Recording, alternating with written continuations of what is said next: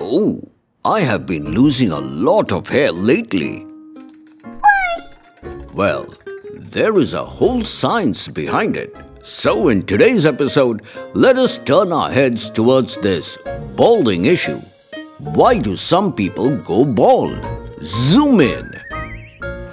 Hair.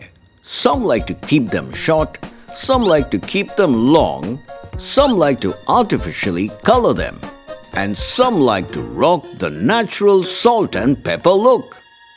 Those with a full head are assumed to have nearly 100,000 to 150,000 hair on their scalp, which not only makes you feel better but also helps to keep your head warm and cushion your skull a bit in case you bump your head into something. So far, what we know about these dense strands is that they are mostly made of keratin, a type of protein left over from dead cells that are pushed upwards as new cells grow under them.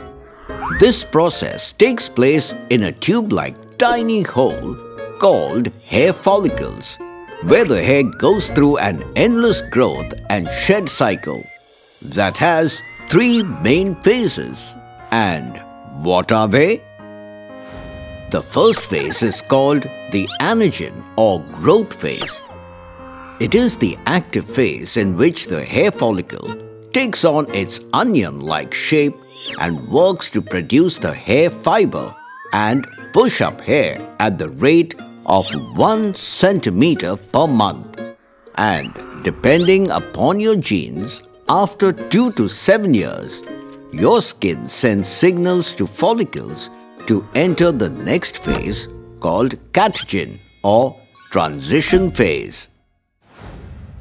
During this phase, the hair follicles begin to shrink and lose about one-sixth of their standard diameter this phase runs for a few weeks and cuts the blood supply to the follicle, resulting in club hair, which is ready to be shed before entering the final phase called telogen or the resting stage.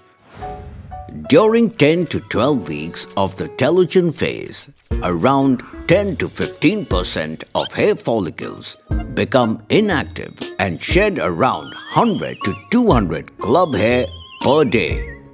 Once the old hair are shed, the entire growth cycle starts again. But unfortunately, not for everyone, especially men who get stuck at the telogen phase of shedding hair, causing baldness, also known as alopecia. But the vital question is, why doesn't the new hair grow? Well, scientists are still trying to figure out the exact reasons. But one of the major factors behind hair loss is the presence of a hormone in our bodies called testosterone, which is converted into dihydrotestosterone or DHT. Now, as some people's hair follicles are quite sensitive toward DHT, they begin to shrink as the hair gets thinner and over time shed away, never to grow back again. Though balding seems to affect mostly men in their 30s, even some women and children can suffer from alopecia. And in case your hair seems to fall a lot lately, then please speak to your parents or guardians and make an appointment with a dermatologist ASAP. At the same time, make sure to apply doctor recommended hair oil or shampoo and do not forget to wash your hair regularly. Why? To know that, please watch our video What if you stop washing your hair?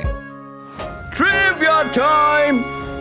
Did you know by 50 years of age, about 85% of men are balding?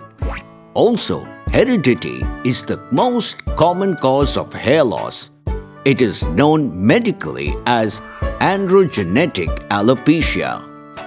Hope you learned something new today.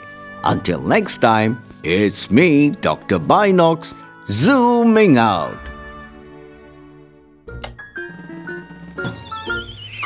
Oh, never mind.